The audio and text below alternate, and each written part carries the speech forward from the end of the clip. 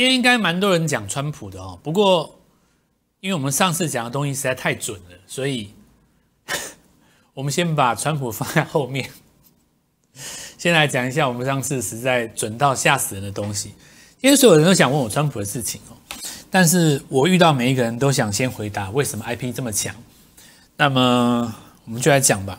上礼拜我们就做了一个计划哈，邀请全部所有的观众，如果你的资金在一千到三千万的，那我们希望你拟定一个今年晋升为亿万身家的计划。当然，这个计划是属于你自己的，所以跟川普没有关系。那不管谁当选，我希望你都能够晋升为亿万。千万不要以为自己的成功或失败会是在别人手上。那我们就先来讲几个概念。我的概念点是先从四星科外出发的。这是一个非常标准的底背离哈，它标准到什么程度呢？它标准到这绝对可以写在教科书上面，绝对可以哈，百分之一百。那在我们的价格行为里面，有一个空方转多方的趋势。中间需要经过一次打底，但是打底的过程里面，它会有一个经典的双底或者是假跌破的破底翻。判断破底翻的过程当中，常常会用到的一个方式叫背离。那么我们就举这个例子来讲哦，以四星 KY 的月级别来看哦，那当时从八百走向四千六的过程当中，对不对？好，那走向四千六的过程当中，中间也甩过很多次。那甩过很多次的原因在哪边呢？就是在这里嘛。我记得这里是几根，有点有忘记了，记不记得？这边大概我记得是七根跌停吧，好像是七根嘛。有没有一根、两根、三根、四根、五根？然后实体的又杀了两根嘛，大概七到八根跌停，是从一千杀到三百多。后来这张股票就一路北上，杀完了以后把筹码洗干净，成为股王。那当时这里为什么杀？还记不记得？还记得吗？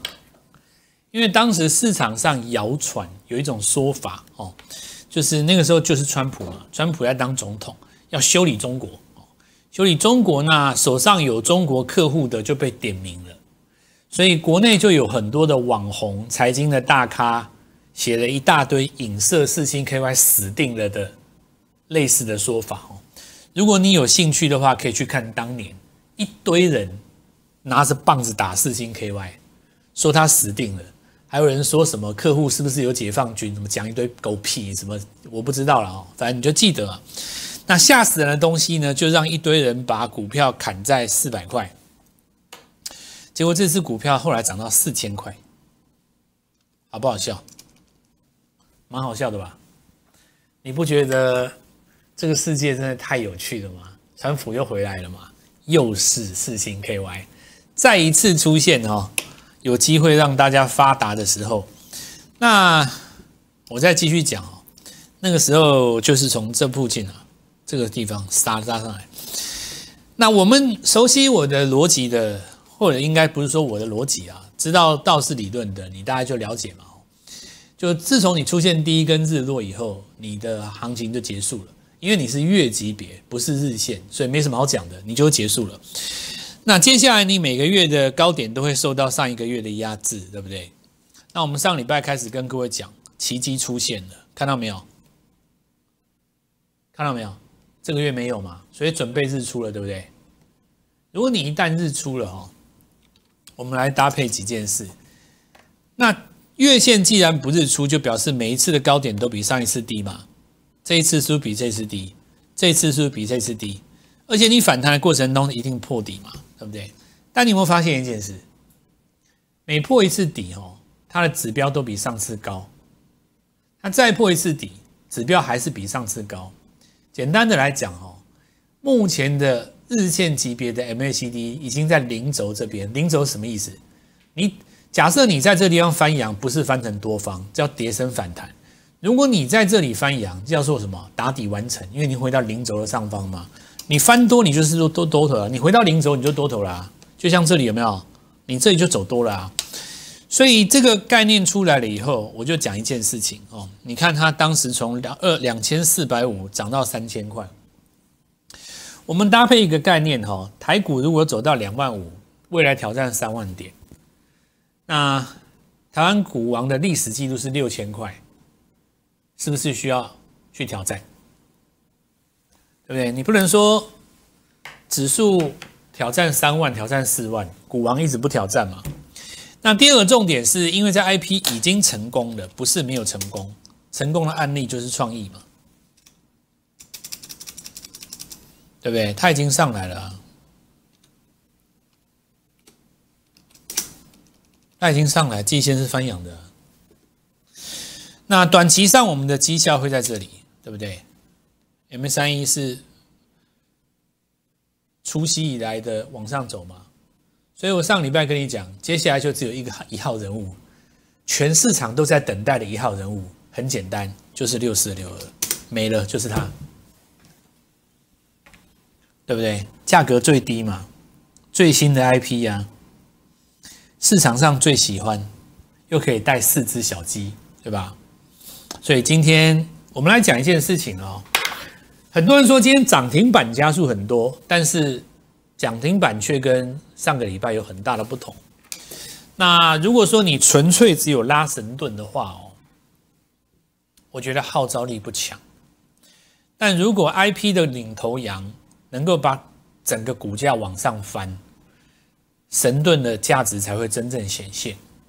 因为就是低呀，人家几千块呢，人家什么两三千、四千、五千，对不对？你才七八十、一两百。好，那我们就看到他们家族这边四根涨停嘛。我话就先讲到这边。我觉得现在很多人在想一个问题哦，就是这个缺口的问题，它会不会变成一个倒状反转？回答这个问题之前哈，我们就先来看这里是不是倒状反转，对不对？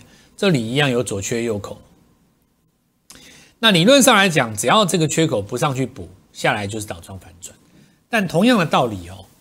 你也可能变成晨星啊，晨星也是倒状反转的一种，对不对？如果你今天变成夜星，那是倒状反转，晨星也是倒状反转其中之一种啊。对于这个晨星来讲，它也是左缺右口啊。所以现在的问题在于，你后面有一个棋子结算，今天大盘不敢拉，很正常，不要什么事情都推给川普，对吧？结算在礼拜三嘛。第二个能够带动它的，当然就是台积电。台电法说在礼拜四，谁要今天拉？如果今天走这个逻辑，我们看到一二三四五，这里也一样，一二三四五。你万一台积电法说完了，它这个成型是往上跳，你这个行情不是整个就落空了吗？对不对？对指数的观点尚且难分难解，但是对于个股早就已经定了输赢了。因为我刚刚在讲的是台积电，但是会赚钱的股票它不会涨。等台积电，我刚刚已经跟各位说过了，今天的涨停虽然多，但是跟礼拜四、礼拜五根本就不一样，换一批了。你难道没有发现设备股根本就不强吗？所以我们当时有跟大家讲过，我说的非常清楚，涨到第五根我会出给你看。如今看起来对还是错？我说涨到第五根的要出嘛？如今看起来的对还是错？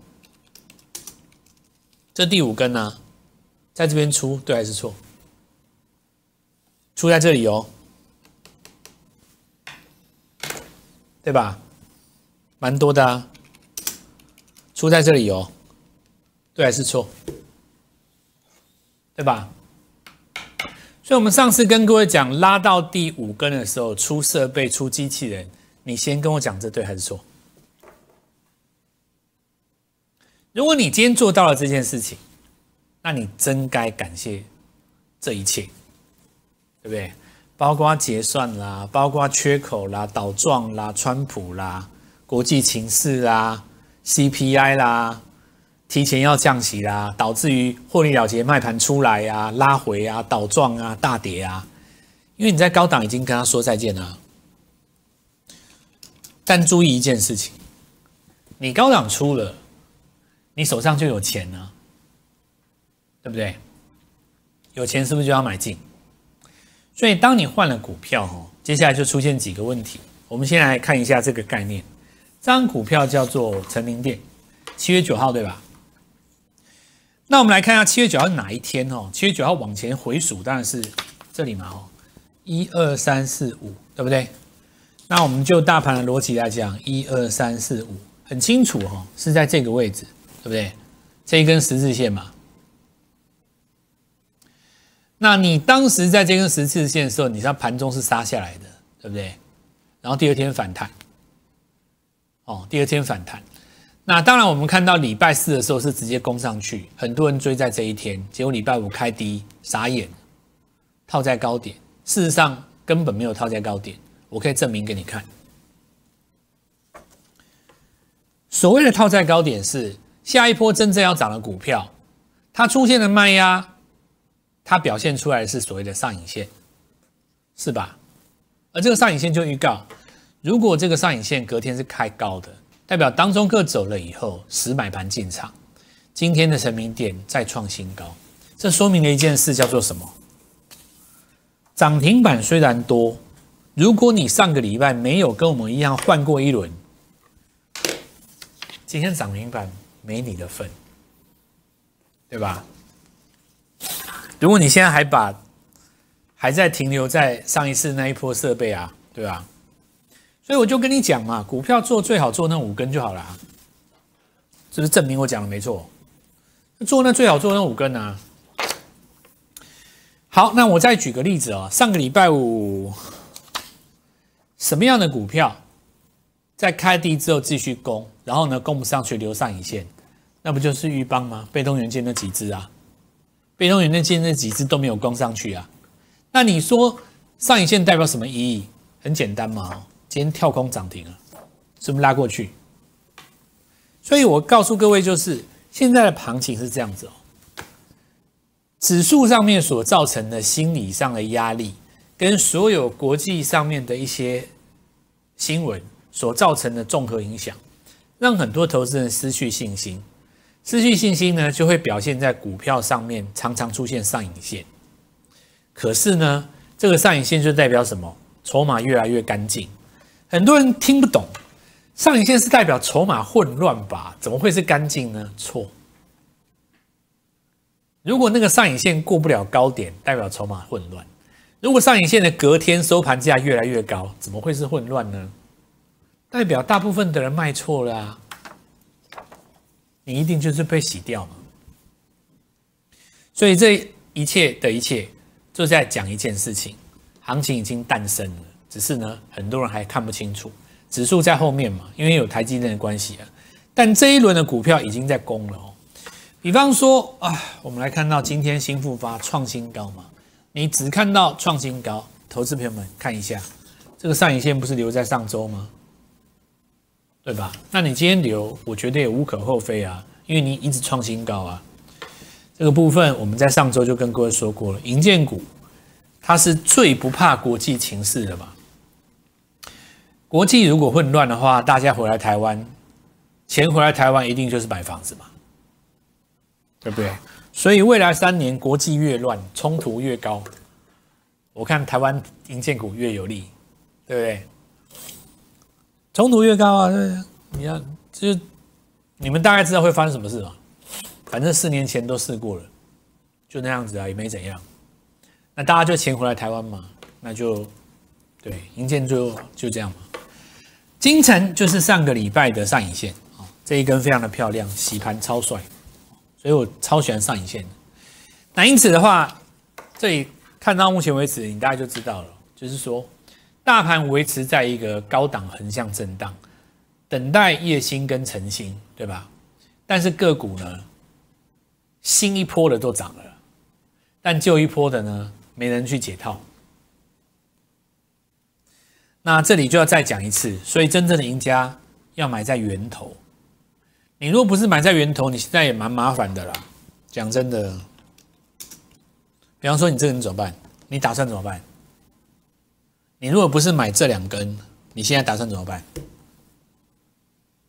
这一根还好啦，如果是这根就糟了，或是任何一根都都都危险，对不对？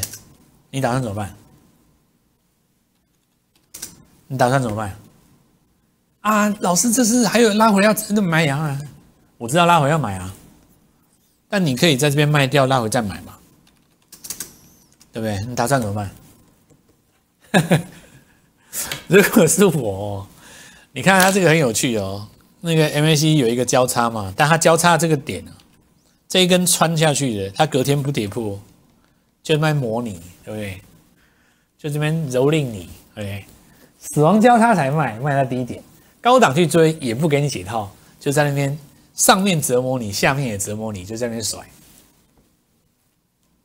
赢家都是像我们一样哦，坐在那个起涨点，好，记住，嗯，起涨点是最重要。好，那我再给大家讲啊，就是今天今年下半年行情一样看好，我觉得蛮好的啊，蛮棒的。哦，现在新的行情，新的一轮股票都已经出来了。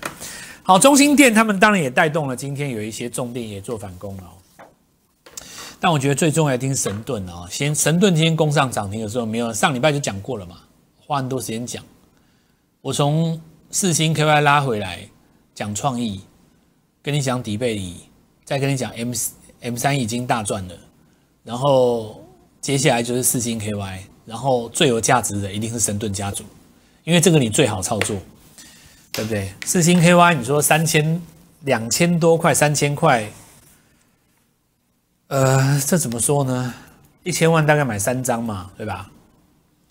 但是我觉得很多股票，你两百块可以去买到更多，对不对？因为你有一千万嘛，买个三五十张，对不对？你配个二三十张，然后再另外配几只 IC 设计翻上去，很 OK 啊。因为我们的目标是先一倍，再一倍，再一倍，三次两倍的话，一亿多，就一千到两千嘛，两千到四千，四千到八千，第四档就破亿了。哦，就是我们看一下那个神盾。好，那今天收这样子，就就是大致上就也不见得一一定要什么涨停不涨停啊，我觉得不见得，因为你这个没有什么好讲的，你这个月级别就是一根。你这个月收在这里的话，就日出了，中继日出嘛。如果能够搭配的哈，因为它不是有当时收购那个前瞻吗？如果能够搭配新的项目进来，看到营收就更好，一定加温。哦，但是不是所有的事情都如你预料，对不对？你怎么知道这个背后怎么运作？说不定有人就希望涨到半路上才出现那个讯息呀。对不对？就跟那个时候金立科一样嘛，涨了半天高，然后再给你新闻，这种很很难讲。也或者是说，新闻快要出来之前，有有有一些这个比较熟悉产业的人，他先预料到了，对吧？看价位做，强就是强哦，强就是强，没有那种什么。好，那我们看一下那个安国哦，安国当然另外一个也是他们集团内有并购的公司嘛，对吧？然后今天也是站到季线，再来三个哈，价格比较低，再来是新鼎，新鼎的话，这个缺口有守住哦，很标准的一个底部起涨的一个走势，当然也带动了羚羊创新，今天就直接带了一个缺口哦，所以拉回来季线果然是需要帮忙啊，也需要把握的。那瑞轩，我们看到上个礼拜的那个陪伴机器人，今天虽然尾盘震荡了一下，不过还是创新高的格局。先进光，这是苹果的概念；冲泰的话，这是机器人的视觉哈。那在高档横向盘旋了四五天了。再来是东科哦，这扬声器哈。全世界最重要的事情，就是你手上的那一档股票，与此无关的都是小事。有一句话是这么说的了：任何天大的事情，三年之后回头来看都是小事。我认为。今天有非常多的人在讲国际这个局势，我必须这么说了哈。其实选前的枪击案，我们台湾领先美国很多年了嘛，对吧？我想大家心里都有数了。今天所有能够涨上来的股票，都是已经预判或是已经接受了这个结果，资金才打进来的。这句话没错吧？你说上个礼拜四星快就转强了。今天续创新高跟川普无关，但今天才能够转强过新高的股票，一定都知道明年总统的大位很可能美国是谁吗？那你知道这个现象，你还去买，就代表这个资金它根本就不怕出现什么改变啊！所以我才说价格最重要啊！那胜负已经出来了，不是吗？我们的股票，新的这一轮，我觉得我这次 IP 抓蛮准的。我们跟一直追踪 IP 的做法不一样。比方说，我可以花三个月时间每天给你追神盾，有意义吗？那表示你过去设备完全没赚到嘛？CPU 你没赚到啊？那个散散出情况你也没赚到啊？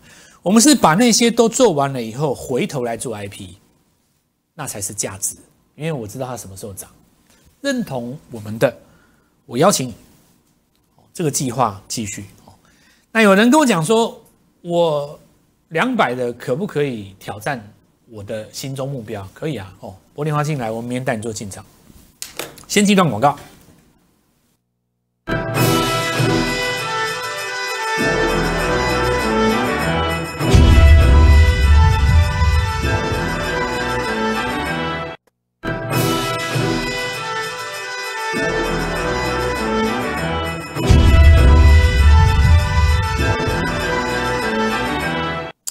来看一下泰鼎哈，第四根开始震荡了嘛，对不对？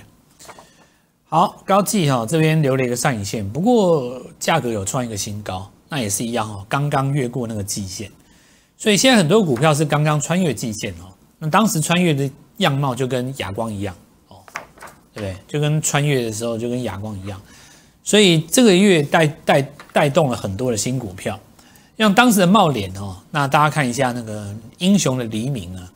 就刚刚出生的时候，那个时候是在两百出头啊。那我们看到后来在六月二十号的时候，我们又将帮各位抓到一次新的买点啊。六月二十六号，因为买点一定好几次嘛。你第一次就是穿越的时候，第二次是你盘中在震荡拉回的时候，对不对？所以六月二十二号有第二次，这第三次七月三号就上礼拜嘛。好，那当然今天哦，我们看到一路帮各位追踪四个买点。然后今天有创一个新高哦，那我觉得涨到今天，我觉得就没有什么好说的。你都已经做了这么多次价差，现在大概就成本已经很低了啊。然后我们看一下有没有办法复制茂联成功的经验。当然很多都是在季线附近哦。那今天我们看到有秦城哦，重新站回季线的上方。然后升气里面是宝瑞嘛哈，因为它是股王，明天可能要挑战千元哦。它如果能够上千元的话，应该把生技再带动一次。不过生技股其实不是所有股票都会涨哦。那这一次的话，很多都是涨到跟医疗、跟 AI 有关，所以今天再创新高。还有上一次的什么再生三法嘛。那这个部分的话，还有一些所谓的医疗用的显示器，这个当然也跟 AI 有一点点关系的。天方能源是这一次哈，我们看到云豹在分盘交易的时候。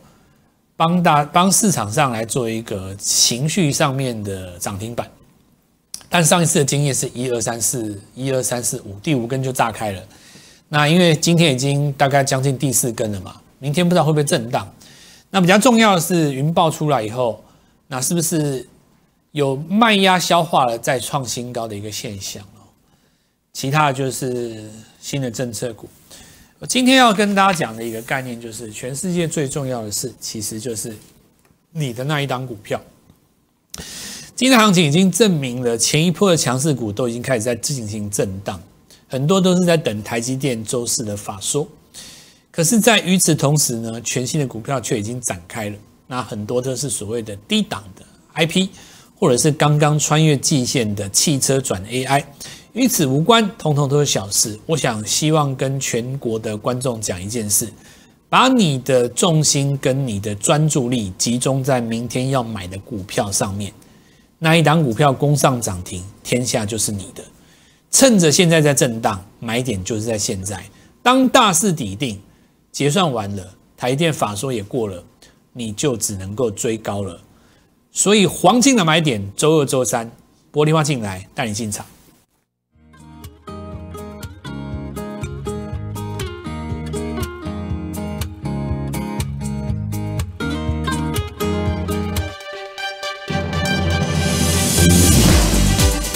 本公司与所推介分析之个别有价证券无不当之财务利益关系。本节目资料仅供参考，投资人应独立判断、谨慎评估并自负投资风险。